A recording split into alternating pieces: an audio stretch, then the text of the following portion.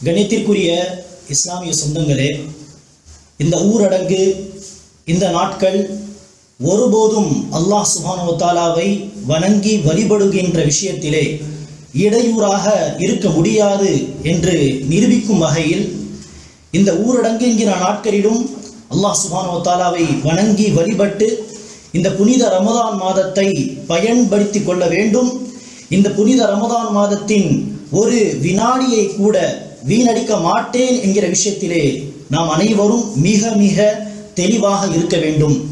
கணித்திற்குரிய சகோதர சகோதரிகளே இந்த சந்தர்ப்பத்தில் தொழுகை சம்பந்தப்பட்ட தொழுகை எத்தகைய ஒரு வணக்கம் எத்தகைய மகத்தான வழிபாட்டு என்பதை குறித்து ஒரு சில விஷயங்களை நான் பதிவு செய்ய விரும்புகிறேன்.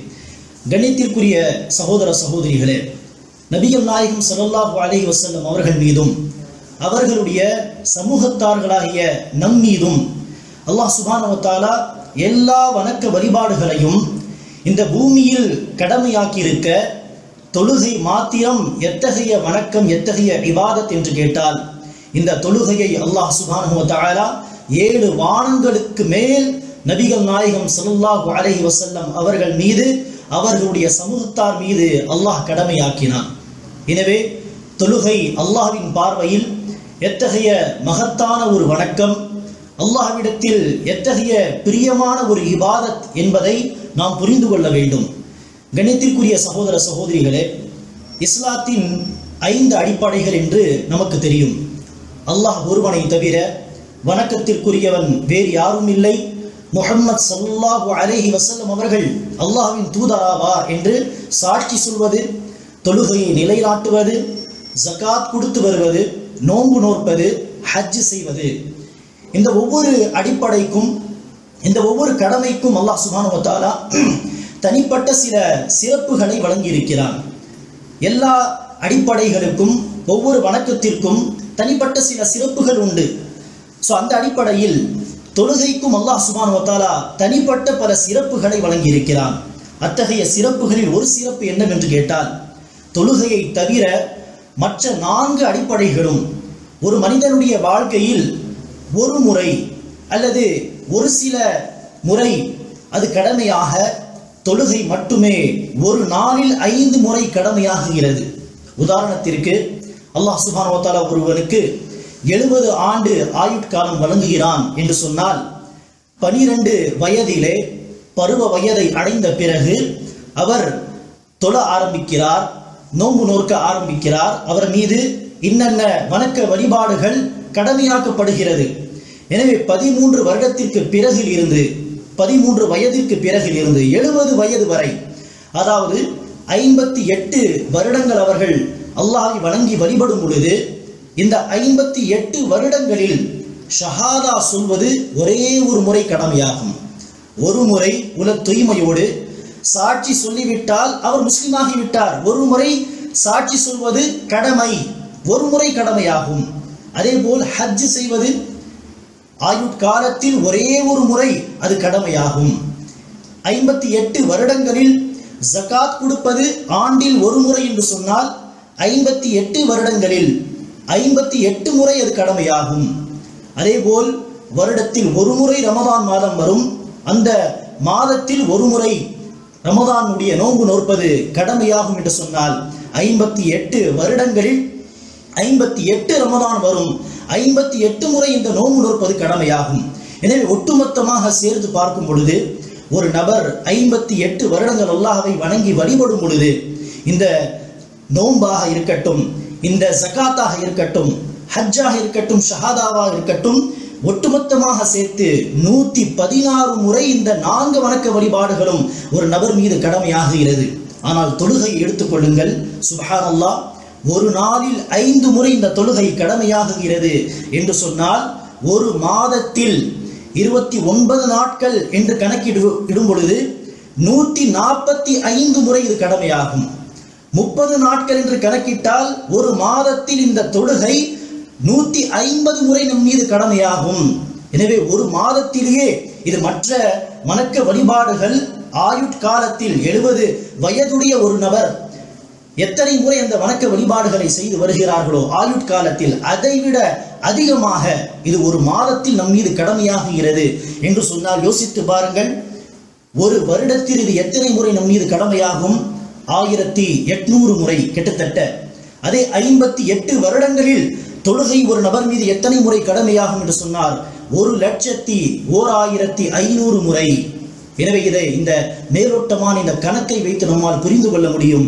ஒருவர் இந்த தொழுகையை பேணி காத்து தொழுது வந்தால் தன்னுடைய வாழ்நாளிலே கோடான கோடி நன்மைகளை அவர்களால் திரட்ட முடியும் இந்த கடமையை அவர்களால் நிறைவேற்ற முடியும். ஆனால் அதே நேரத்தில் ஒருவர் தொழுகையை வீணாக்குகிறார் என்று சொன்னால் எத்தகைய நன்மையை அவன் இழந்து விடுகிறான்? எத்தகைய நஷ்டவாளியாக அவன் அல்லாஹ்விடத்தில் நிற்கப் போகிறான் என்பதை புரிந்து கொள்ள வேண்டும். இந்த தொழுகையில் நமக்கு கிடைக்கக்கூடிய மகத்தான கூலி என்ன?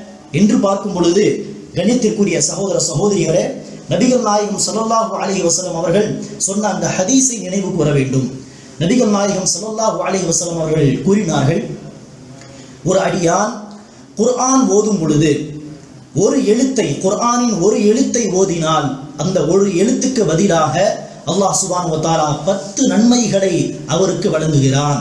பிறகு ரசூ ஸல்லல்லாஹு அலைஹி வஸல்லம் அவர்கள் குறிப்பிடுகிறார்கள் லா அகூலு அலிஃப் லாம் மீம் ஹர்ஃபுன் அலிஃப் லாம் மீம் ஒரு எழுத்து என்று நான் சொல்லவில்லை. மாறாக அதில் அலிஃப் என்பது ஒரு எழுத்து லாம் என்பது இன்னொரு எழுத்து மீம் என்பது இன்னொரு எழுத்து என்று ரசூ ஸல்லல்லாஹு அலிஸ்லாம் அவர்கள் குறிப்பிடுகிறார். எனவே அந்த அடிப்படையில் சுருத்துல் ஃபாத்திஹாவை எடுத்துக்கொள்ளுங்கள் சுருத்துல் ஃபாத்திஹா எத்தகைய சூரா தொழுகையை பற்றி நாம் பேசிக் கொண்டிருக்கிறோம். தொழுகையில் சுரத்துல் ஃபாத்திஹா ஒருவர் ஓதாவிட்டால் அந்த தொழுகையே ஆகாது என்று ரசூல் ஸல்லல்லாஹு அலஹி வசலம் அவர்கள் கூறினார்கள். லா ஸலாத லிமன் லம் யக்ரா பி ஃபாத்திஹத்தில் கிதாப். சுரத்துல் ஃபாத்திஹாவை எவர் ஒருவர் ஓதவில்லையோ அவருடைய தொழுகையே கிடையாது. எனவே ஒவ்வொரு ரகாத்திலும் சுரத்துல் ஃபாத்திஹா ஓதுவது கட்டாய கடமை. எனவே அந்த சூரத்துல் ஃபாத்திஹாவை எடுத்துக்கொள்வோம். சூரத்துல் ஃபாத்திஹாவிலே உச்சரிப்பில் வரக்கூடிய எழுத்துக்கள் நூற்றி இருபது. உச்சரிப்பில் வரக்கூடிய நாங்கள் மொழியக்கூடிய எழுத்துக்கள் நூற்றி இருபது எழுத்துக்கள் சூரத்துல் ஃபாத்திஹாவில் உள்ளன. எனவே நூற்றி இருபது எழுத்துக்கள் என்று சொன்னால் ஒரு எழுத்துக்கு பத்து நன்மைகள் என்று சொன்னால் யோசித்து பாருங்கள். நூற்றி இருபது எழுத்துக்களுக்கு அல்லாஹ் சுபானோ நமக்கு ஆயிரத்தி இருநூறு நன்மைகளை வழங்குகிறான். ஒவ்வொரு எழுத்துக்கு பதிலாக பத்து நன்மைகள் என்று கணக்கிடும் பொழுது எனவே ஒரு நாளில் சூரத்துல் ஃபாத்திஹாவை கடமையான தொழுகையில் மட்டுமே நாம் எத்தனை முறை ஓதுகிறோம்? ஃபஜர் இரண்டு ரக்காத் துஹர் நான்கு ரக்காத் என்று கணக்கிட்டு பார்க்கும் பொழுது பதினேழு முறை பதினேழு ரக்காத்துகளிலே சூரத்துல் ஃபாத்திஹாவை பதினேழு முறை நாங்கள் ஓதுகிறோம். எனவே பதினேழு முறை சூரத்துல் ஃபாத்திஹாவை ஓதும் பொழுது ஒவ்வொரு எழுத்துக்கு பதிலாக அல்லாஹ் சுபானுவத்தாலா நூறு பத்து பத்து நன்மைகளை நமக்கு அல்லாஹ் வழங்கும் பொழுது சூரத்துல் ஃபாத்திஹாவை மட்டுமே ஓதி இருபதாயிரத்தி நானூறு நன்மைகளை நம்மால் ஒரு நாளிலே அடைய முடியும். சுரத்துல் ஃபாத்திஹாவில் மட்டுமே. எனவே அந்த அடிப்படையில் நீங்கள் கணக்கிட்டு பாருங்கள். சுரத்துல் ஃபாத்திஹாவுக்கு இருபதாயிரத்தி நானூறு நன்மைகள். மற்ற துணை சூறாக்களை ஒரு நாளில் பத்து ரகத்துகளில் நாங்கள் ஓதுகிறோம். அந்த சுனை துணை சூறாக்கான நன்மைகள் என்ன? அது போக மற்ற துவாக்கள் சஜிதாவிலும் ருக்கோவிலும் தஷகுதிலும் பல துவாக்களை நாங்கள் ஓதுகிறோம். அல்லாஹு அக்பர் அல்லாஹு அக்பர் என்று பலமுறை தக்குபீர் சொல்கிறோம். இந்த அனைத்துக்கான நன்மைகளை நீங்கள் மேலோட்டமாக கணக்கிட்டு பார்த்தால் ஒரு நாளைக்கு இந்த பருது தொழுகைகளை மட்டுமே கொண்டு ஏறத்தாழ ஒரு லட்சத்துக்கு மேலான நன்மைகளை நம்மால் அடைய முடியும். இது என்ன? குறைந்தபடிய குறைந்தபட்ச நன்மைகள். ஆனால் மற்றபடி நபிகள் நாயகம் ஸல்லல்லாஹு அலி வசலம் அவர்களுடைய இன்னொரு ஹதீத்தை நீங்கள் நினைவு கூறி பாருங்கள். ரசூ ஸல்லல்லாஹு அலி வசலம் அவர்கள் குறிப்பிடுகிறார்கள் அல்லாஹ் சுபானுவத்தாலா ஒரு நற்செயலுக்கான நன்மையை பத்து மடங்காக அதை கூட்டி எழுதுகிறான். அல் ஹசனத்து பி அஷ்ரி அம்சாலிஹா. பத்திலிருந்து அல்லாஹ் சுபானுவத்தாலா அடியார்களுடைய உல தூய்மைக்கு ஏற்ப இஹ்லாஸுக்கு ஏற்ப தக்குவா பயபக்திக்கு ஏற்ப எந்த அளவிற்கு அவர்கள் கவனமாக அந்த வணக்கத்தை செய்கிறார்களோ அந்த கவனத்திற்கு ஏற்ப அல்லாஹ் சுபான வத்தாலா பத்தில் இருந்து எழுநூறு மடங்கு வரை அல்லாஹ் சுபான வத்தாலா அதை கூட்டி எழுதுகிறான் என்று ரசூல் ஸல்லல்லாஹு அலைஹி வசலம் அவர்கள் குறிப்பிடுகிறார்கள். அல் ஹஸனத்து பி அஷ்ரி அம்சாலிஹா இலா சபிஇ மிஅத்தி பத்தில் இருந்து எழுநூறு மடங்கு வரை அல்லாஹ் சுபான வத்தாலா அந்த ஒரு நற்செயலை கூட்டி எழுதுகிறான். எனவே அந்த அடி- அந்த அடிப்படையில் எழுநூறு என்று அதிகப்படியான கணக்கை வைத்து பாருங்கள். சூரத்துல் ஃபாத்திஹாவின் நூத்தி இருபது வசன வார்த்தைகளை எழுத்துக்களை ஓதும் பொழுது அல்லாஹ் சுப்ஹானஹு ஒவ்வொரு எழுத்துக்கு பதிலாக நமக்கு எழுநூறு நன்மைகளை எழுதிவிட்டான் என்று சொன்னால் அல்லாஹ் சுப்ஹானஹு நமக்கு அந்த பாக்கியத்தை தர வேண்டும். அல்லாஹ் சுப்ஹானஹு ஒரு நாளிலே ஒரு நாளிலே பதினேழு முறை நாங்கள் சூரத்துல் ஃபாத்திஹாவை ஓதும் பொழுது பதினாலு லட்சத்தி இருபத்தி எட்டாயிரம் நன்மைகள் எழுதப்படும். பதினாலு லட்சத்தி இருபத்தி எட்டாயிரம் நன்மைகள் சூரத்துல் ஃபாத்திஹா ஓதினால் மட்டுமே ஒரு நாளில் ஒரு நாளில் பதினேழு முறை ஓதினார். அப்படி இருக்க துணி சூறாக்கள் ஓதினால் எத்தனை நன்மைகள் என்று யோசித்து பாருங்கள். அதுபோக பதினேழு முறை பதினேழு முறை இந்த சூரத்துல் ஃபாத்திஹாவை ஃபர்து தொழுகையில் ஓதுவதோடு நஃபில் தொழுகைகள் சுண்ணத்தை முகக்கதா என்று நஃபில் தொழுகை சுண்ணத்து தொழுகை என்று உபரியான தொழுகைகள் தொழுதால் அதில் எத்தனை நன்மைகள் கிடைக்கும் என்று யோசித்து பாருங்கள். அல்லாஹ் சுபானுவத்தால் நமக்கு எந்த அளவிற்கு வாரி வாரி இந்த தொழுகையின் வழியாக நமக்கு நன்மைகளை வழங்குகிறான் என்பதை யோசித்து பார்க்க நாம் கடமைப்பட்டிருக்கிறோம். இருபதாம் கணித்திற்குரிய சகோதர சகோதரிகளே நபிகள் நாயகம் ஸல்லல்லாஹு அலைஹி வாழ்க்கையில் இரண்டு சஹாபாக்கள் இருந்தார்கள் தோழர்கள். இரண்டு சஹாபா பெருமக்களில் மூத்தவர் மார்க்கத்தோடு எளியவரை விட அதிகமாக ஈடுபாடு கொண்டவராக இருந்தார். ஃபர்தான வணக்க வழிபாடுகள் போக உபரியான நஃபீலான இபாதத்துகளையும் அதிகமாக செய்து வந்தார். அந்த மூ- மூத்தவர் இறந்த பிறகு மரணித்த பிறகு ஐம்பது நாட்களுக்கு பிறகு ஐம்பது நாட்களுக்கு பிறகு இரண்டாவது சகோதரரும் எளியவரும் இறந்து விடுகிறார். இந்த இருவருடைய மௌத்துக்கு பிறகு மரணத்திற்கு பிறகு நபிகள் நாயகம் சுல்லாஹு அலி வசலம் அவர்களின் முன்னிலையில் சஹாபா பெருமக்கள் அந்த மூத்தவரை புகழ்ந்த வகையில் எளியவரை காட்டிலும் மூத்தவர் சிறந்தவர். அவர் என்னென்ன விஷயங்களை செய்து கொண்டிருந்தார் என்று மூத்தவரை புகழ்ந்து பேசிக் கொண்டிருந்த அந்த சமயத்தில் நபிகள் நாயகம் சுல்லாஹு அலி வசலம் அவர்கள் நபித்தோழர்களை பார்த்து சொன்னார்கள் இந்த மூத்தவர் இறந்த பிறகு ஐம்பது நாட்கள் இந்த எளியவர் உயிரோடு இருந்து இந்த ஐம்பது நாட்களில் ஃபர்தான தொழுகைகளை அவர்கள் தொழுது வந்திருக்கிறார். எனவே இந்த ஐம்பது நாட்களின் தொழுகைகளின் வழியாக இந்த ஐம்பது நாட்களின் தொழுகைகளின் காரணமாக தன் மூத்த சகோதரரை விட இவர் அந்தஸ்துகளை உயர்ந்த அந்தஸ்துகளை பெற்றுவிட்டாரா இல்லையா என்பது உங்களுக்கு என்ன தெரியும் என்று ரசூல் சுல்லாசம் அவர்கள் சஹாபா பெருமக்களை பார்த்து கேட்கிறார்கள். எனவே அந்த ஐம்பது நாட்களின் தொழுகைகளை கொண்டு இவர் எந்த அளவிற்கு உயர்ந்து சென்றிருப்பார் என்று உங்களுக்கு என்ன தெரியும் என்று ரசூல் அவர்கள் கேட்கிறார் என்று சொன்னால் எதற்காக? ஒரு நாளில் ஒரு நபர் சூரத்துல் ஃபாத்திஹாவை மட்டுமே ஃபருதான தொழுகைகளை உல தூய்மையோடு கவனமாக தக்குவாவோடு இறையச்சத்தோடு ஓதுவார் என்று சொன்னால் பதினாறு லட்சத்திற்கு அதிகமான நன்மைகள் கிடைக்கும் என்று சொன்னால் ஐம்பது நாட்களுடைய தொழுகையின் நன்மை என்ன என்று யோசித்து பாருங்கள். ஒரு வருடத்தின் தொழுகையுடைய நன்மைகள் என்ன என்று யோசித்து பாருங்கள். ஒரு நபருடைய வாழ்நாளில் அவர் தொழுது வந்த கடமையான தொழுகைகளின் நன்மை என்ன என்று யோசித்து பாருங்கள். எனவே இந்த தொழுகையை கொண்டு நம்மால் கோடான கோடி நன்மைகளை பெற முடியும் என்று சொன்னால் அதே நேரத்தில் இந்த தொழுகை விஷயத்திலே நாம் அலட்சியமாக இருப்போமே ஆனால் கவனக்குறைவாக இருப்போமேயானால் தொழுகைகளை விடக்கூடிய கெட்ட மக்களாக நாம் இருப்போமேயானால் எத்தனை கோடான கோடி நன்மைகளை நாம் இழந்து விடுகிறோம் என்பதை யோசித்து பார்க்க கடமைப்பட்டிருக்கிறோம். எனவே இந்த நன்மைகளை நான் ஒருபோதும் இழக்க மாட்டேன். இந்த நன்மைகளை நான் பெற வேண்டும் என்கிற ஆதரவோடு ஆசையோடு இந்த நன்மைகளை பெற வேண்டும் என்கிற நீயத்தோடு தொழுகைகளை நாம் பேணி காத்து தொழக்கூடிய மக்களாக இருக்க வேண்டும். கணியத்திற்குரிய சகோதர சகோதரிகளே இந்த தொழுகை என்பது எத்தகைய ஒரு வணக்கம் எத்தகைய ஒரு இபாதத் தொழுகை நேரத்திலே ஒரு அடியான் தன் ஏக இறைவனோடு அல்லாஹோடு உரையாடுகிறான் என்று நபிகள் நாயகம் சல்லாஹு அலைஹி அவர்கள் குறிப்பிடுகிறார்கள். எனவே தான் சலஃப்மார்களில் ஒருவர் முன்னோர்களில் ஒருவர் குறிப்பிடுகிறார் நான் அல்லாஹோடு பேச வேண்டும் என்று நான் விரும்பினால் நான் தொழுகையில் நின்று விடுகிறேன். தொழுகையில் நான் அல்லாஹோடு பேசுகிறேன். அல்லாஹ் என்னோடு பேச வேண்டும் என்று நான் விரும்பும் பொழுது நான் குரானை ஓதுகிறேன். ஏனெனில் குரான் அல்லாஹுடைய வார்த்தை நபிகள் நாயகம் சல்லாஹு அலி வசலம் அவர்கள் குறிப்பிடுகிறார்கள் இன்ன அஹதக்கும் இதா சொல்லா யுனாஜி ரப்பஹு. நிச்சயமாக உங்களில் ஒருவர் தொழும் பொழுது தன்னுடைய ஏக இறைவனோடு அவர் உரையாடுகிறார் தன்னுடைய இறைவனோடு அவர் பேசுகிறார். எனவே தொழுகையில் நிற்கும் பொழுது நாங்கள் அல்லாஹோடு பேசுகிறோம் உரையாடுகிறோம். எனவேதான் நபிகள் நாயகம் சல்லாஹு அலஹி வசலம் அவர்கள் கூறினார்கள் தொழுகையில் ஒரு அடியான் தன் இறைவனோடு பேசுகிறான் உரையாடுகிறான் எனவே துப்ப வேண்டும் என்று சொன்னால் அந்த காலத்தில் கீழே பாயை விரித்தவர்கள் தொழமாட்டார்கள். அப்படியே மண் மீது நின்- நின்று நேரடியாக தொழுவார்கள். எனவே துப்புவதாக இருந்தால் தொழுகையில் அவர்கள் துப்பிவிடுவார்கள். எனவே ரசூல் அவர்கள் ஒரு ஒழுக்கத்தை சொல்லித் தருகிறார் ஒரு அடியான் தொழுகை நேரத்திலே தன் இறைவனோடு உரையாடுகிறான். எனவே அவர் என்ன செய்ய வேண்டாம்? முன்னால் தனக்கு முன்னால் அவர் துப்ப வேண்டாம். ஏனெனில் அவனுக்கு முன்னால் அவன் அல்லாஹோடு பேசுகிறான். தனது வலது புறமும் துப்ப வேண்டாம் இடது புறமும் துப்ப வேண்டாம். ஏனெனில் வலது புறமும் இடது புறமும் சகோதரர்கள் முஸ்லிம் சகோதரர்கள் நின்று தொழுது கொண்டிருப்பார்கள். எனவே துப்புவதாக இருந்தால் தன்னுடைய இரு கால்களுக்கு மத்தியில் அவர் துப்பட்டும் என்று ரசூ ஸல்லல்லாஹு அலி வஸல்லம் அவர்கள் கூறினார்கள். எனவே தொழுகையில் நாங்கள் அல்லாஹோடு உரையாடுகிறோம். அல்லாஹோடு பேசுகிறோம். இன்னொரு ஹதீஸிலே ரசூல் ஸல்லல்லாஹு அலி வசலம் அவர்கள் குறிப்பிடுகிறார்கள். அல்லாஹ் சுப்ஹானஹு வ கூறுகிறான் கஸ்ஸம்து ஸலாத்தி பைனி வ பைன அப்தி நிஸ்ஃபைன்.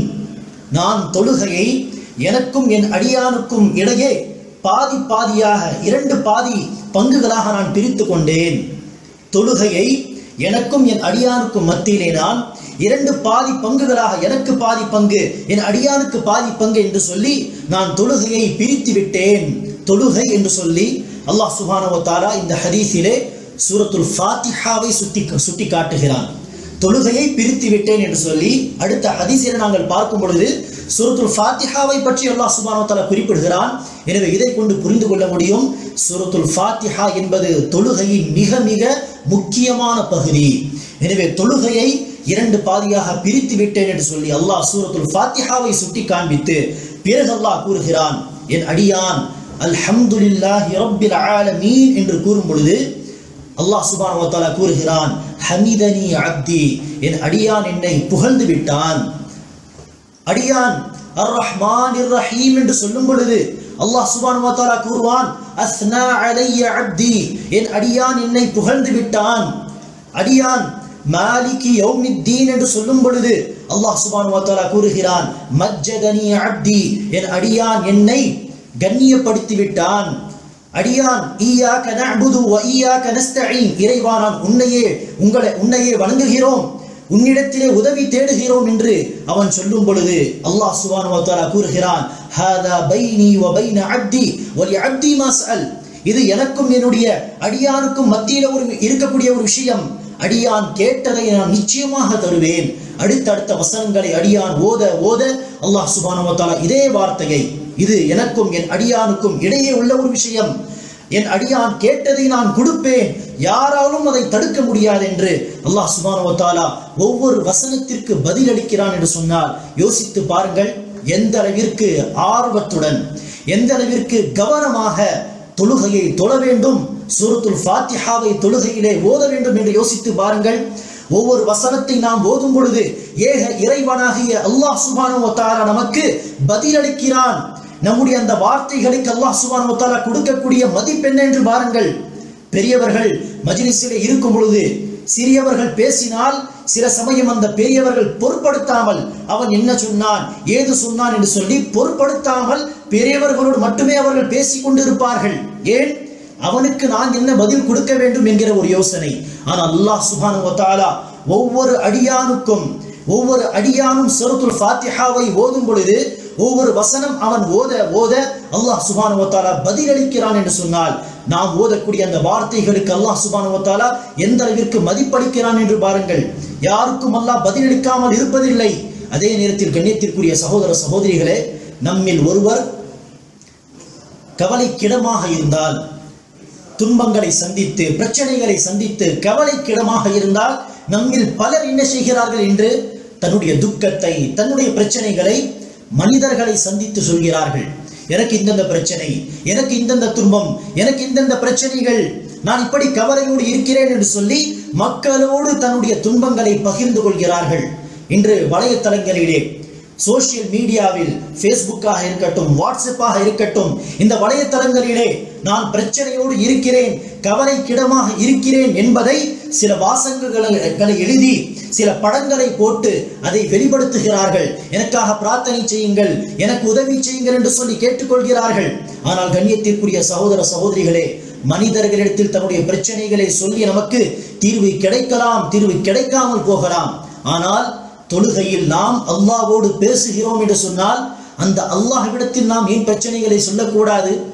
நாங்கள் ஒவ்வொரு வசனத்தை ஓத அல்லாஹ் பதிலளிக்கிறான் என்று சொன்னால் அந்த அல்லாஹ்விடத்தில் தன்னுடைய பிரச்சனைகளை சொல்லி தீர்வை ஏன் தேடக்கூடாது? அல்லாஹ்விடத்தில் நேரடியாக தன்னுடைய பிரச்சனைகளை சொல்லுங்கள். அல்லாஹ்விடத்தில் நீங்கள் பேசுங்கள். அல்லாஹ்விடத்தில் தன்னுடைய துன்பங்களை பற்றி எடுத்து அல்லாஹ்விடத்தில் முறையிடுங்கள். அல்லாஹ் சுபானுவத்தாலா தீர்ப்பு வழங்குவதற்கு தீர்வுகள் வழங்குவதற்கு போதுமானவன். எனவேதான் கண்ணியத்திற்குரிய சகோதர சகோதரிகளே அல்லாஹ்வின் நல்லடியார்கள். தன்னுடைய துன்பங்களை அல்லாஹ்விடத்தில் எடுத்துச் சொல்வார்கள். தொழுகை தொழும் பொழுது தொழுகையை தொழும் பொழுது சஜிதா செய்யும் பொழுது அல்லாஹ்விடத்தில் நேரடியாக தன்னுடைய துன்பங்களை சொல்வார்கள். அதற்கான தீர்வும் அவர்களுக்கு கிடைக்கும். தொழுகும் பொழுது அவர்களுக்கு கிடைக்கக்கூடிய ஆனந்தம் அந்த அமைதி எந்த ஒரு இடத்திலும் அவர்களுக்கு கிடைக்காது. எனவேதான் நபிகள் நாயகம் ஸல்லல்லாஹு அலைஹி அவர்கள் குறிப்பிடுகிறார்கள் ஜுஇலத் குர்ரத்து ஐனி ஃபிஸ் என் கண்களின் குளிர்ச்சி தொழுகையில் வைக்கப்பட்டிருக்கிறது. அல்லாஹ் என்னுடைய கண்களின் குளிர்ச்சியை அமைதியை ஆனந்தத்தை தொழுகையில் வைத்து விட்டான். நபிகள் நாயகம் சல்லாஹூ அலிவசலம் அவர்கள் தொழுகை நேரம் வந்துவிட்டால் அதான் கொடுப்பவர் யார்? பிலால் ரலியல்லாஹு அன். பிலால் ரலியல்லாஹு அவர்களை முகத்தினை பார்த்து சொல்வார்கள் அரிஹ்னா பிஸ்வலாத்தியா பிலால். தொழுகைக்காக அதானை கொடுத்து தொழுகையை கொண்டு நமக்கு சுகத்தை தாருங்கள் பிலாலே என்று சொல்லி ரசூல் சல்லாஹூ அலி வசலம் அவர்கள் பிலாலை பார்த்து சொல்வார்கள்.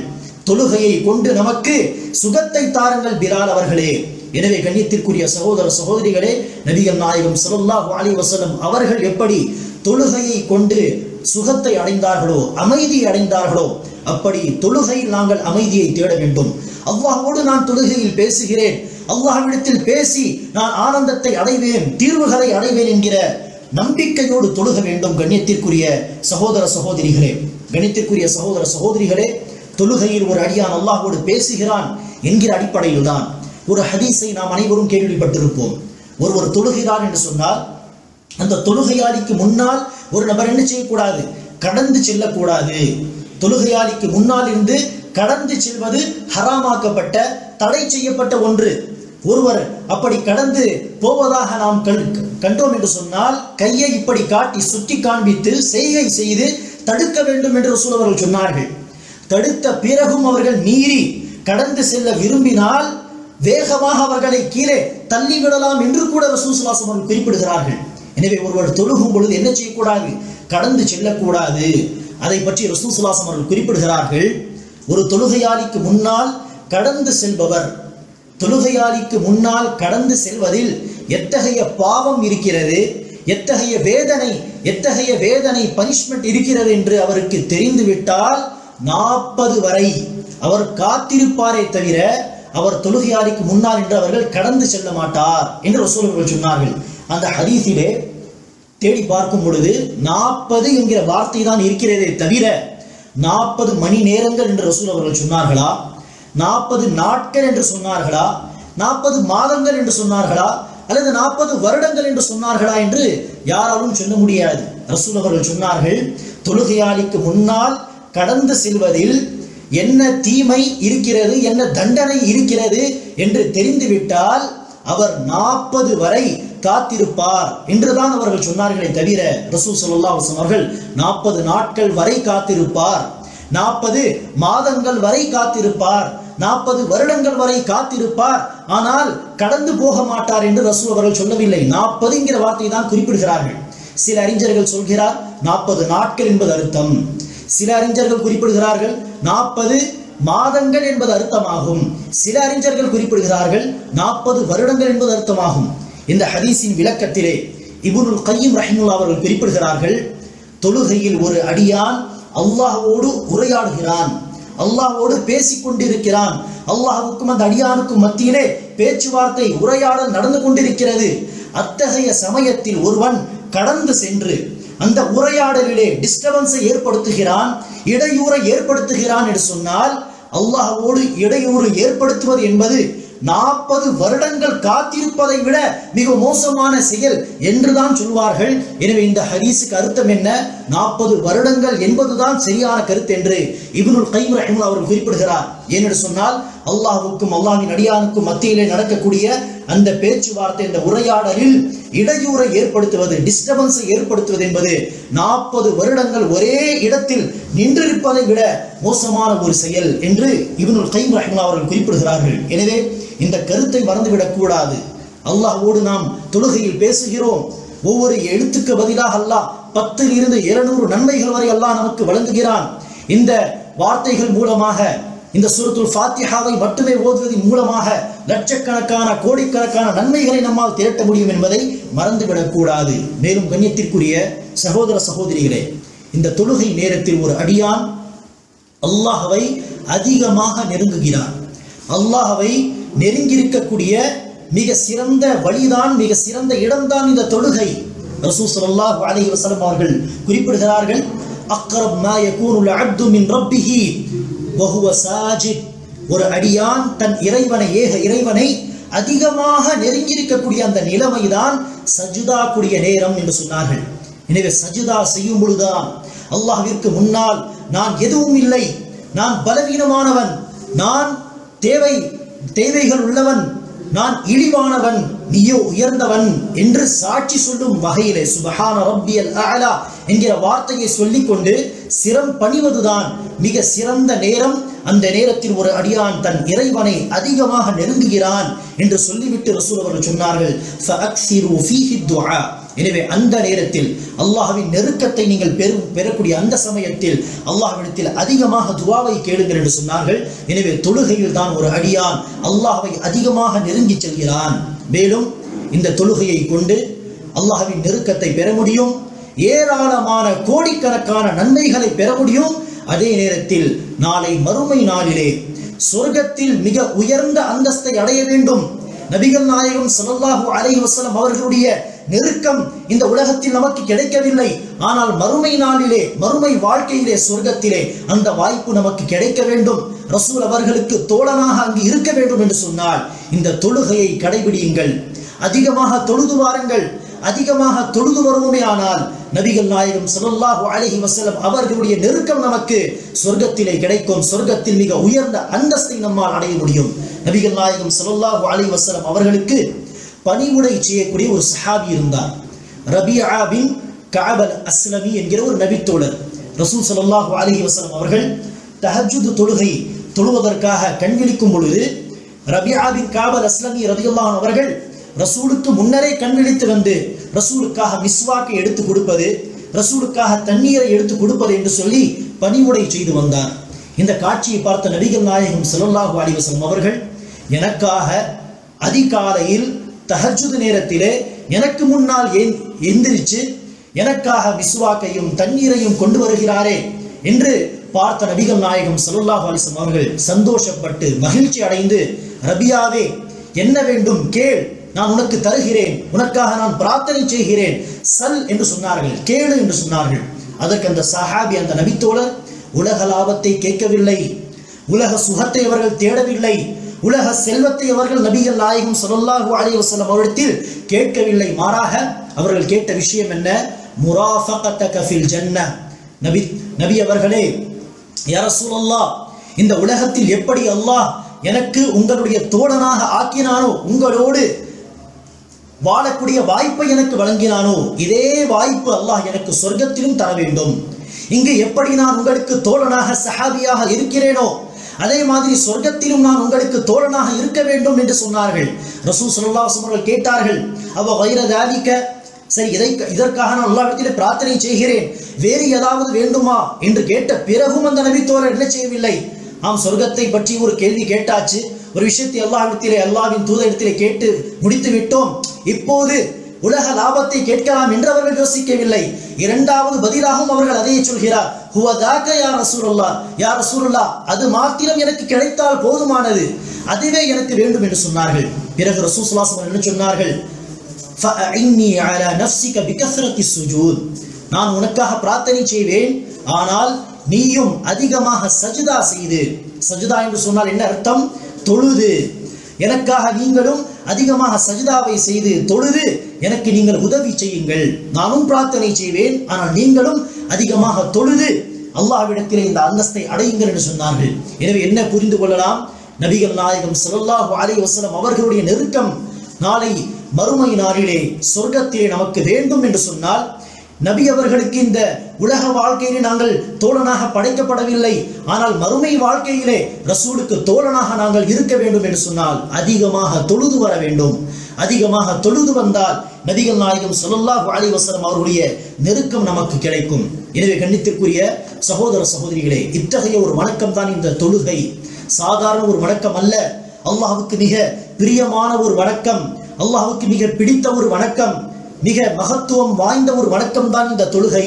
எனவேதான் சரஃப்மார்கள் நபிகள் நாயகம் ஸல்லல்லாஹு அலி வசலம் அவர்களிலிருந்து நபி தோழர்கள் சஹாபா பெருமக்கள் தாபியங்கள் அத்துபா உத்தாபியங்கள் என்று சொல்லி நல்லடியார்களோடு நல்லடியார்களுடைய வாழ்க்கையை நீங்கள் புரட்டி பாருங்கள். தொழுகையோடு இந்த நல்லடியார்களுடைய தொடர்பு என்பது மிக வலுவாக இருந்திருக்கும். ஈடுபாடோடு அவர்கள் இந்த தொழுகையில் இருந்திருப்பார்கள். தன்னுடைய தொடர்பை இந்த தொழுகையோடு அவர்கள் எந்த அளவிற்கு மேம்படுத்தி வைத்திருந்தார்கள் என்பதற்கு ஒரு சில உதாரணங்களை நான் இப்போது பதிவு செய்ய விரும்புகிறேன். கணித்திற்குரிய சகோதர சகோதரிகளே நபிகள் நாயகம் ஸல்லல்லாஹு அலிஸ்லாம் அவர்கள் வீட்டில் மனைவி மக்களோடு இருக்கும் பொழுது சிரித்து கொண்டு பேசிக்கொண்டு உரையாடிக் கொண்டு வீட்டு வேலைகளை செய்து கொண்டிருப்பார்கள். ஆனால் பாங்கு சப்தத்தை அவர்கள் கேட்டு விடுவாரேயானால் தொழுகைக்கான அழைப்பு அவருடைய காதில் விழும் பொழுது சிரித்து பேசிக் கொண்டிருந்த அந்த மனைவி மக்களை எல்லாம் மறந்துவிட்டு நபி அவர்களுக்கும் அவர்களுக்கும் வீட்டு மக்களுக்கும் எந்த ஒரு தொடர்பும் இல்லை என்று சொல்லும் அளவிற்கு அவர்களை திரும்பி பார்க்காமல் தொழுகையின் பக்கம் ரசூல் அவர்கள் திரும்பி விடுவார்கள்.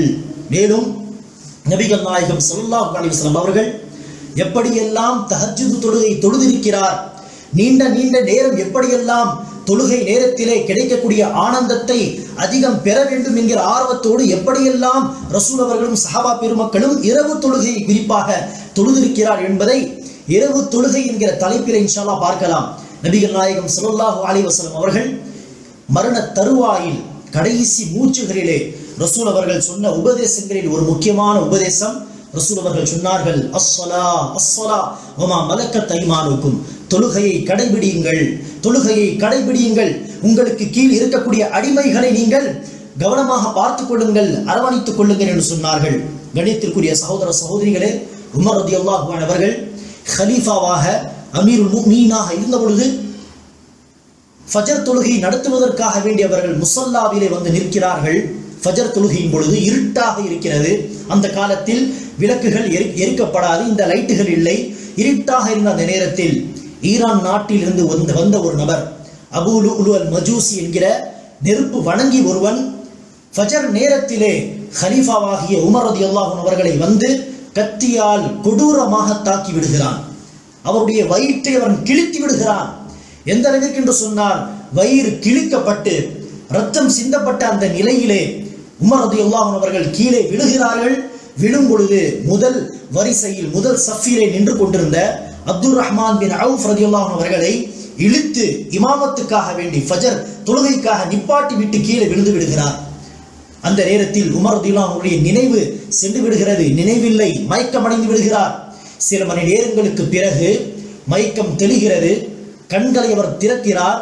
வயிறு கிழிக்கப்பட்ட நிலையில் ச- ரத்தம் சிந்தப்பட்ட நிலையில் அவர்கள் இருக்கிறார்கள். மிக மோசமான ஒரு நிலையில் அவர்கள் இருக்கிறார். அந்த நேரத்தில் கண்களை திறந்து பார்க்கும் பொழுது உமரை சுத்தி சஹாபா பெருமக்கள் இருந்தார்கள். உமருடைய தலைக்கு அருகாமையில் இப்னு அப்பாஸ் ரதி அன்ஹு அவர்கள் நின்று கொண்டிருந்தார். உமர் ரதியுல்லாஹு அவர்கள் கண்களை திறந்து பார்க்க இப்னு அப்பாஸ் ரதியுல்லாஹு அவர்கள் உமரை பார்த்து சொன்ன முதல் வார்த்தை என்ன என்று தெரியுமா? உமரை பார்த்து அமீருல் மினின் அவர்களே இப்போது உடல்நிலை எப்படி இருக்கிறது? என்றெல்லாம் அவர்கள் கேட்கவில்லை. அவருடைய உடல் நிலத்தை பற்றி நலத்தை பற்றி அவர்கள் விசாரிக்கவில்லை. மாறாக கண் திறந்து பார்த்த உமரை பார்த்து இபுன் அப்பாஸ் கேட்ட முதல் கேள்வி முதல் வார்த்தை அமீருல் மீனின் அவர்களே நீங்கள் ஃபஜர் தொழுகையை தொழவில்லை. ஃபஜர் தொழுகையை நீங்கள் தவறிவிட்டீர்கள் என்று சொன்னார்கள். உடனே ஆம் நான் தொழவில்லை என்று நினைவு கூறிய உமர் ரலியல்லாஹு அவர்கள் அதே நிலைமையில் தொழுதார்கள். இரண்டு ரக்கா தொழுது முடித்த பிறகு அவர்கள் சொன்னார்கள் சஹாபா பெருமக்களை பார்த்து அந்த மக்களை பார்த்து லா ஹவ்வ ஃபில் இஸ்லாமி மன் லா யுஸல்லி மன் தரக ஸலா. எவர் ஒருவர் கடமையான தொழுகையை விட்டு விடுகிறாரோ அவருக்கும் இஸ்லாத்திற்கும் எந்த ஒரு தொடர்பும் கிடையாது. அவருடைய பெயர் அப்துல் ரஹ்மானாக இருக்கட்டும் முகம்மதாக இருக்கட்டும் அப்துல்லாவாக இருக்கட்டும் கடமையான தொழுகையை விட்டுவிட்டால் அவனுக்கும் இஸ்லாத்திற்கும் எந்த ஒரு தொடர்பும் கிடையாது. அவன் முஸ்லீம் அல்ல என்று உமர் ரதியுல்லாஹ் அவர்கள் கூறினார்கள். இப்னு மஸ்ஊத் ரதியுல்லாஹ் அவர்கள் குறிப்பிடுகிறார் நாங்கள் அதாவது சஹாபா பெருமக்களில் எவரும் கடமையான தொழுகையை விட்டுவிட்டு வீட்டில் உட்கார்ந்திருக்க மாட்டார்கள். கடமையான தொழுகையை ஜமா தொழுகையை விட்டுவிட்டு ஜமாத்தோடு தொழுகாமல் வீட்டிலே எவரும் இருக்க மாட்டார்கள். எவரை தவிர என்று சொன்னால் பகிரங்கமான நயவஞ்சகர்களை தவிர வெளிப்படையான முனாஃபிகங்கள் எவனை பற்றி சஹாபா பெருமக்களுக்கு கடுகளவு சந்தேகம் இருக்காதோ? இவன் ஒரு முனாஃபிக் இவன் ஒரு நயவஞ்சகன் என்று அத்தகைய முனாஃபிகீன்களை தவிர எவரும் தொழுகையை விட்டுவிட்டு வீட்டில் இருக்க மாட்டார்கள்.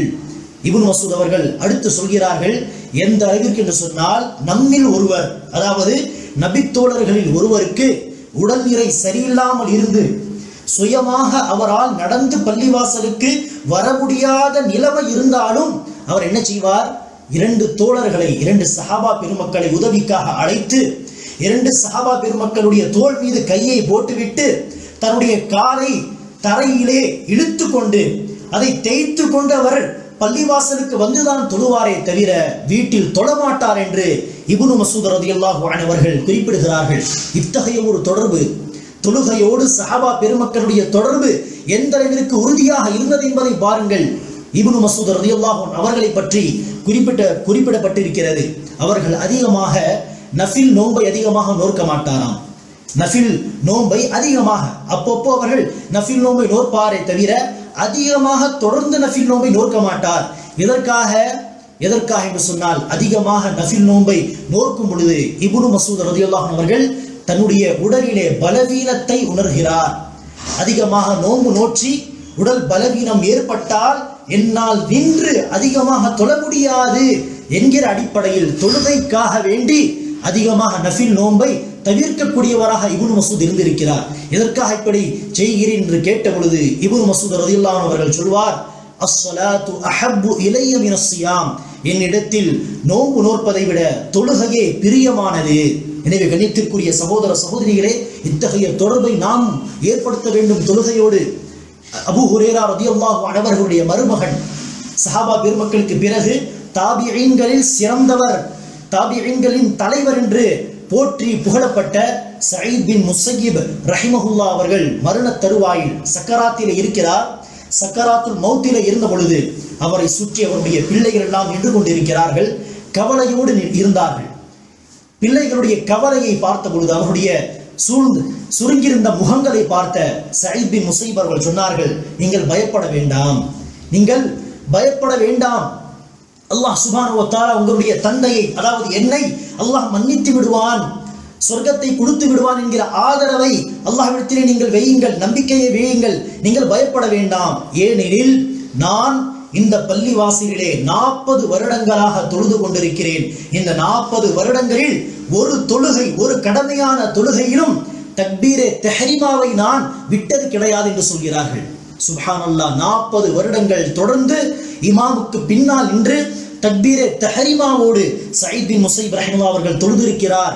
இன்னொரு அறிவிப்பிலே சயீத் பின் முசைப் ரஹிமுல்லா அவர்கள் குறிப்பிடுகிறார்கள் இந்த பள்ளிவாசலிலே நான் நாற்பது வருடங்களாக தொழுதிருக்கிறேன். இந்த நாற்பது வருடங்களில் நான் தொழுத தொழுகைகளில் ஒரு தொழுகையிலும் ஒரு மனிதனுடைய இந்த கழுத்தின் பின்பகுதியை நான் பார்த்ததே கிடையாது என்று சொல்கிறார்கள். என்ன அர்த்தம்? இரண்டாவது சஃப்பு மூன்றாவது சஃப் என்று நின்றால்தான் முதல் சஃபில் இருக்கக்கூடிய மக்களுடைய இந்த பின்புறத்தை இந்த கழுத்தின் பின்புறத்தை அவர்களால் பார்க்க முடியும். முதல் சஃபில் தொழுதார் என்கிற அடிப்படையில் தான் இந்த தொழுகையில் நான் எந்த மனிதனுடைய கழுத்தின் பின்புறத்தை பார்க்கவில்லை என்று இபுனு முசைப் அவர்கள் குறிப்பிடுகிறார்கள். எனவே கணித்திற்குரிய சகோதர சகோதரிகளே தொழுகை பொதுவாகவே தொழுகைகளை அதிகமாக தொழுது அல்லாஹ்வின் நெருக்கத்தை நபிகள் நாயகம் ஸல்லல்லாஹு அலிவஸ்லம் அவர்களின் நெருக்கத்தை பெற வேண்டும். சொர்க்கத்தின் மிகப்பெரிய அந்தஸ்தை அடைய முயற்சிக்க வேண்டும். அதிகமான கோடான கோடியான நன்மைகளை திரட்ட முயற்சிக்க வேண்டும். அதிலும் குறிப்பாக கடமையான தொழுகைகள். குறைந்தபட்சம் குறைந்தபடியாக கடமையான தொழுகைகளை விடாமல் கட்டாய கடமை என்கிற உணர்வோடு பொறுப்புணர்வோடு தொழுது வர வேண்டும். நாளை மறுமை நாளன்று ஒரு அடியானிடத்திலே விசாரிக்கப்படுகின்ற முதன் முதலாக விசாரிக்கப்படுகின்ற வணக்கம். இந்த தொழுகை ரசூல் அவர்கள் குறிப்பிடுகிறார்கள் அவ்வளுமா யுஹாசபு பிஹில் அப்து யோமல் கியாமத்தி அஸ்ஸலா. நாளை மறுமை நாளன்று ஒரு அடியானிடத்தில் அல்லாஹ் சுபான் வத்தாலா இந்த தொழுகையை குறித்து தான் முதன் முதலாக விசாரிக்கப் போகிறான். இனி அத்தகைய தொழுகையில் நாம் வெற்றி பெறுவோ பெறுவோமே. ஆனால் அடுத்தடுத்த கேள்விகளிலே விசாரணையிலே அல்லாஹ் சுபான் வத்தாலா நமக்கு இலகை ஏற்படுத்தி தருவான். அந்த முதல் கேள்வியிலே நாம் சிக்கி விடுவோமே. ஆனால் தேர்ச்சி பெறாமல் தோல்வி அடைந்து விடுவோமே. ஆனால் அல்லாஹ் பாதுகாக்கட்டும். அடுத்தடுத்த கேள்விகளின் விசாரணையிலே தோல்வியை தான் அந்த அடியான் காணப்போகிறான். எனவே கணித்திற்குரிய சகோதர சகோதரிகளே இந்த கடமையான தொழுகைகள் குறிப்பாக இந்த தொழுகையின் முக்கியத்துவத்தை அவசியத்தை உணர வேண்டும் பேணி காத்து தொழுது வர வேண்டும். கணித்திற்குரிய சகோதர சகோதரிகளே நபிகள் நாயகம் சுல்லாஹு அலி வசலம் அவர்கள் சிறு பிள்ளைகள் குழந்தைகள் என்று சொன்னால் எந்த அளவிற்கு பாசமாக நடந்து கொள்வார் விரும்புவார் என்று நமக்கு தெரியும் பல செய்திகளை நாம் கேட்டு இருக்கிறோம் அத்தகைய நபிகள் நாயகம் ஸல்லல்லாஹு அலைஹி அவர்கள் தொழுகை விஷயம் என்று வரும்பொழுது என்ன சொன்னார்கள்? தன்னுடைய பிள்ளைகளை ஏழு வயதை வயதை அவர்கள் அடைந்து விட்டால் தொழும்படி கட்டளையிடுங்கள். பத்து வயதை அடைந்த பிறகும் அவர்கள் தொழாவிட்டால் தன் பிள்ளைகளை அடித்து தொழும்படி சொல்லுங்க சொல்லுங்கள் என்று ரசூல் ஸல்லல்லாஹு அலைஹி அவர்கள் தன் வாயிலாக பிள்ளைகளை அடியுங்கள் என்று சொன்ன ஒரே இடம் இந்த தொழுகைக்கான இடம்தான். தொழுகைக்காக தான் ரசூல் அவர்கள் அடிக்கும்படி கட்டளையிட்டு இருக்கிறார் என்று சொன்னால் எந்த அளவிற்கு இந்த தொழுகை முக்கியமானது என்பது புரிந்து கொள்ள வேண்டும். கடமையான ஒரு தொழுகையை வேண்டும் என்றே தெரிந்து ஒருவன் விட்டு விடுவானே ஆனால் பல அறிஞர்களுடைய கருத்து அவன் காஃபியராக மாறி விடுவான் அவன் இஸ்லாத்தை விட்டு வெளியேறி விடுவான் என்பது பல அறிஞர்களுடைய கருத்தாக இருந்து கொண்டிருக்கிறது. சஹாபா பெருமக்களை பற்றி அப்துல்லாவின் ஷகீக் என்கிற தாவியரை அறிவிக்கிறார்கள். லம் யகுன் அஸ்ஹாபு ரசூல் ரசூலில்லாஹி ஸல்லல்லாஹு அலைஹி வஸல்லம் யரவுன தர்க இபாதத்தின் குஃப்ரன் இல்ல ஸலா நபித்தோழர்கள் ஒரு வணக்கத்தை விட்டுவிடுவதை ஒரு வணக்கத்தை ஒரு இபாதத்தை விட்டுவிடுவதை விடுவதை இதை இறை நிராகரிப்பாக பார்த்தது கிடையாது. இந்த தொழுகையை தவிர என்ன அர்த்தம்? தொழுகையை விட்டுவிட்டால் அது குஃபுர் என்று நபி தோழர்கள் பார்த்திருக்கிறார்கள். எனவேதான் பிரபலமான நான்கு அறிஞர்கள். இமாம் அபு ஹனீஃபா இமாம் மாலிக் இமாம் ஷாஃபி இமாம் அஹமத் பின் ஹம்பல். இவர்களுடைய ஃபத்வாக்கள் என்ன என்று தெரியுமா? ஒரு கடமையான தொழுகை ஒருவன் வேண்டும் என்றே விட்டுவிட்டால் அபு ஹனீஃபா ரஹிமுல்லா அவர்கள் குறிப்பிடுகிறார்கள் அவனை சிறையில் அடைத்து விடுங்கள். அவன் தொழுகையை நிலைநாட்டி பேருதலாக தொழாத வரை அவனை சிறையிலே அடைத்து விடுங்கள். அவன் தொழாமல் அந்த சிறையில் இறந்து விட்டாலும் சரி என்று சொன்னார்கள். மற்ற மூன்று பிரபலமான அறிஞர்கள் இமாம் மாலிக் இமாம் ஷாஃபி இமாம் அஹமத் பின் ஹம்பல் ரஹ்முல்லா அவருடைய கருத்து என்ன? ஒரு கடமையான தொழுகையை ஒருவன் வேண்டும் என்றே விட்டுவிட்டால் அவனை கொன்று விடுங்கள் என்று சொன்னார்கள். இது சாதாரண விஷயங்கள் அல்ல. இந்த ஃபத்வாக்களை அமல்படுத்த வேண்டுமா? இல்லையா? என்பது வேறு விஷயம். ஆனால் இந்த அறிஞர்களுடைய ஃபத்வாக்கள் சஹாபா பெருமக்களுடைய இந்த நிலைப்பாட்டு எதை சுட்டி காட்டுகிறது ஒரு கடமையான தொழுகையை விடுவது என்பது சாதாரண விஷயம் அல்ல. இது மிகப்பெரிய பாவம். பெரும் பாவங்களில் பெரிய பாவம் என்பதை புரிந்து கொள்ள வேண்டும். ஆனால் இந்த உம்மத்தின் பலருடைய துர் துரதிருஷ்டவசமாக இந்த உம்மத்தின் பலர் என்ன செய்கிறார்கள்? தொழுகையை சர்வ சாதாரணமாக விட்டு விடுகிறார்கள். தொடர்ந்து தொழுகையை தொழாமல் இருந்தும் ஒரு பெரிய பாவத்தை செய்திருக்கிறோம் என்று கூட உணராமல் தொடர்ந்து அலட்சியமாக தொழுகை விஷயத்தில் இருந்து கொண்டிருக்கிறார்கள். தொழுகை விடுவது என்பது அவருடைய பார்வையில் ஒரு பெரிய விஷயமே கிடையாது பெரிய மேட்டரே கிடையாது என்று சொல்லும் அளவிற்கு தொழுகையை விடுவது ஒரு பாவமாக கூட அவர்கள் பார்ப்பது கிடையாது. அந்த அளவிற்கு வழிகட்டு போயிருக்கிறோம் நம்மில் பலர். அல்லாஹ் நம்மை பாதுகாக்க வேண்டும். மேலும் தொழுகையா அல்லது காசு பணமா என்று வந்தால் தொழுகையை காட்டிலும் காசு பணத்திற்கு நாம் முக்கியத்துவத்தை தருகிறோம். தொழுகை நேரம் வந்துவிட்டாலும் பல வியாபாரிகள் என்ன செய்கிறார்கள்? தொழுகைக்கு போகாமல் தன்னுடைய வியாபாரத்தை செய்கிறார்கள். எதற்காக? தொழுகையை விட அவர்களுக்கு காசு பணம் தான் மேலானது முக்கியத்துவம் வாய்ந்தது. ஒரு தொழுகையை நிலைநாட்டக்கூடியவர் ஆனால் ஒரு ஏழை அவருடைய ஒரு சம்பந்தம் வந்தால் அதை விட்டு விட்டு தொழுகையை பேணி காத்து தொழாத ஒரு பணக்காரனுடைய சம்பந்தம் வந்தால் அதை பேசி முடித்து திருமணத்தை முடித்து வைக்கிறார்கள் என்று சொன்னால் என்ன அர்த்தம்? அவர்களுக்கு இந்த காசு பணம் தான் முக்கியமானதை தவிர தொழுகை முக்கியமானதல்ல. ஆனால் கணித்துக்குரிய சகோதர சகோதரிகளே இந்த தொழுகையில் தான் இம்மை மறுமையுடைய வெற்றி இருக்கிறது. இந்த தொழுகையில் தான் இம்மை மறுமையுடைய அமைதி சுகம் நமக்கு கிடைக்கும் என்பதை மறந்து விடாமல் இந்த தொழுகை என்பது அல்லாஹ் நமக்கு கிடைத்த கொடுத்த மிகப்பெரிய பரிசு மிகப்பெரிய அருட்கொடை. அல்லாஹ் நமக்கு கொடுத்த மிகப்பெரிய பொக்கிஷம் என்று மறந்து விடாமல் பொறுப்புணர்வோடு நன்மையை நாடி அல்லாஹ் சுபானு நெருக்கத்தை நாடி குறைந்தபட்சம் கடமையான தொழுகைகளை பேணி காத்து தொழுது வர வேண்டும். இதற்கு முன்பு தெரிந்தோ தெரியாமலோ தொலகு தொழுகைகளை பல தொழுகைகளை நாம் விட்டிருந்தால் அல்லாஹ் சுபானோ தாலாவிடத்தில் உல தூய்மையோடு பாவ மன்னிப்பை தேட வேண்டும். நிச்சயமாக அல்லாஹ் சுபானோ தாலா பாவ மன்னிப்பை வழங்கக்கூடியவனாக மன்னிக்கக்கூடியவனாக இருக்கிறான். அல்லாஹ்விடத்திலே தௌபாவை கேட்டு இதற்கு பிறகு பேருதலாக தொழுது வந்து விடுபட்ட அந்த தொழுகைகளை அல்லாஹ் சுபானோ தலாவிடத்திலே பாதுகாக்க அதிகமாக நஃபில் தொழுகைகளை தொழுது வர வேண்டும். இன்ஷா அல்லாஹ் அல்லாஹ் சுபானோ தலா தன் அருளை கொண்டு நஃபிலான உபரியான தொழுகைகளை கொண்டு கடமையான தொழுகைகளின் குறைபாடுகளை அல்லாஹ் சுபானோ பூர்த்தி செய்து விடுவான். அல்லாஹ் சுபானோ நம் அனைவருடைய உள்ளங்களிலே தொழுகைக்கான நேசத்தை தொழுகைக்கான ஆர்வத்தை படைத்து தருவானாக. அல்லாஹ் சுபானோ தாலா நமக்கும் தொழுகைக்கும் மத்தியிலே தொடர்பை மேம்படுத்தி தருவானாக. அல்லாஹ் சுபானோ தாலா முஸ்லிம் சமுதாயத்தில் இருக்கக்கூடிய ஒவ்வொரு முஸ்லிமையும் நல்ல முஸ்லிமாக ஒரு நல்ல முக்மீனாக தொழுகையை நிலைநாட்டக்கூடியவனாக ஆக்கியருள் புரிவானாக. ஆமீன். வாஹுர் தாவானா அலமதுல்லாஹி ரபில் ஆலமீன். அஸ்லாம் வலைக்கம் வரமத்துல்லாஹி வபரகாத்துஹு.